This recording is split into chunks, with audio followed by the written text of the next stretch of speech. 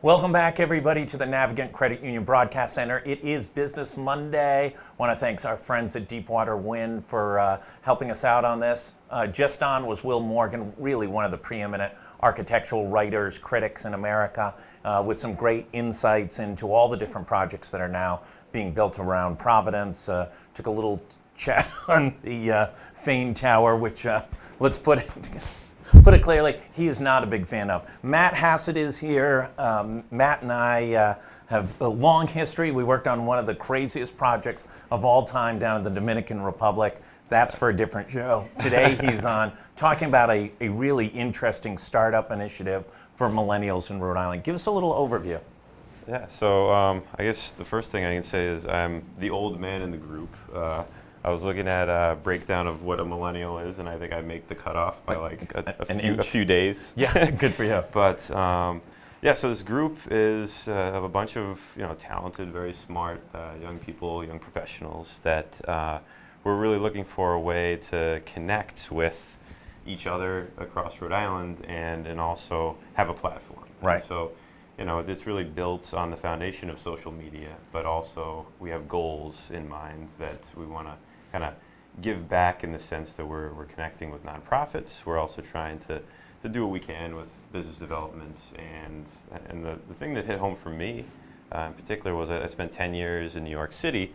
Um, and you know, you go out, you do networking in New York, and you can't walk into a bar without meeting you know, a hundred different thirty-somethings that are, you know, successful professionals right. with like, you know, an, an ambitious mindset. And you want to find that in Rhode Island, but it's you know, a little harder to find. So a little harder than in Manhattan. yeah, I would say. So, so that was kind of our goal. Is, if we know, had that, we'd be Manhattan. exactly. Um, no, it's uh, you know, there's a lot of uh, young energy that's starting to emerge, and especially as people get more developed. Talk about some of the ways you're bringing folks together and I know you're trying to channel it for the best of the community. Talk a little bit about those those initiatives as well. Sure. So, um, you know, our website we have. Uh, what's the URL? Uh, so it is uh, fountainheadri.org. So the uh, yeah on the website, I mean, you'll see the story of uh, the board members and you know where everything came from. Uh, Dave Almonte, it's really his brainchild, but uh, we have a nonprofit of the quarter and uh, one of our board members, uh, Erica Basilla Adams, is, uh, I mean, like a pro in the, uh, the nonprofit world. Uh, she's, she must be on 15 different boards and, uh, you know, is, is, constantly giving us tutelage on, you know, what it means to be on a board. Um, and then, you know, our, our, goal is to, to drive content, obviously, through the website, but also host events. Yeah. So, you know, we, we do a mix of fun events, networking, um, along with some very topical events that are there more kind of panel discussions. Great. Um, we had one in particular that uh, on the top of my head is uh, was at the um, Rhode Island Foundation, basically just trying to, to educate young people if you want to get on a board, how do you do? it? Right. And so we had um, you know some uh, seasoned uh, nonprofit people uh, basically giving advice. You know, here's how you go about it.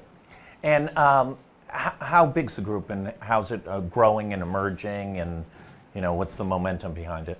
Yeah, so at the moment we don't have members. Yeah. Um, but I mean the network is probably networked across a couple thousand people at this point. That's great. Um, and I would say you know maybe in the future at some point we'll, we'll set it up where there's specific members and you know you have um, more that you can do directly on the site. But for right now, um, again, our, you know, our goal is to promote you know, a couple events a year and also just be there for um, the interests and activities of you know, our network. Um, you know, Erica is on the board of the Autism Project. They're having a walk coming up uh, this weekend. So, you know, it's something that we trying to push and support yeah. good causes in Rhode Island.